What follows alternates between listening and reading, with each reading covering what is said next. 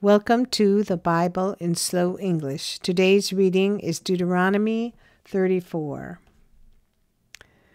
Moses went up from the plains of Moab to Mount Nebo, to the top of Pisgah, that is, opposite Jericho. Yahweh showed him all the land of Gilead to Dan, and all Naphtali, and the land of Ephraim and Manasseh, and all the land of Judah to the western sea, and the south, and the plain of the valley of Jericho, the city of palm trees, to Zoar. Yahweh said to him, This is the land which I swore to Abraham, to Isaac, and to Jacob, saying, I will give it to your offspring. I have caused you to see it with your eyes, but you shall not go over there.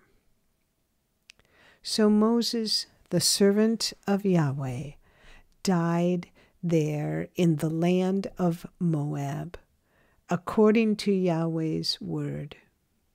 He buried him in the valley in the land of Moab, opposite Beth Peor but no man knows where his tomb is to this day. Moses was 120 years old when he died. His eye was not dim, nor his strength gone.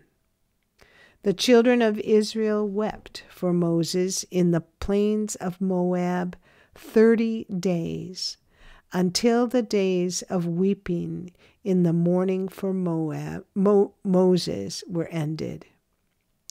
Joshua, the son of Nun, was full of the spirit of wisdom, for Moses had laid his hands on him.